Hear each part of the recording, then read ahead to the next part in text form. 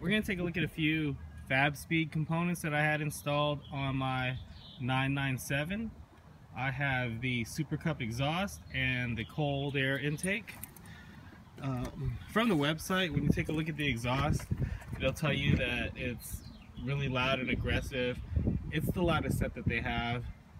It's uh, recommended for track use only. Replaces the restrictive factory mufflers with a free-flowing uh, resonated design. Take a look at the cold air intake. It's got carbon fiber construction, uh, dual dry filters.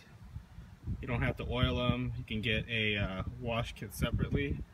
Um, pretty easy install. All I used was a um,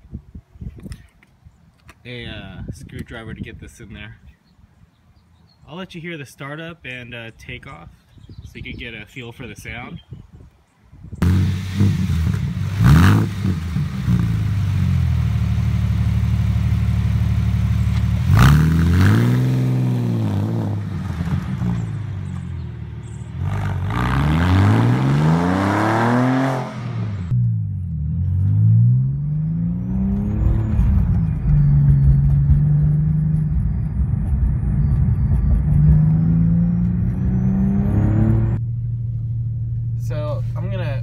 Shift through a few gears, let you hear it from the inside.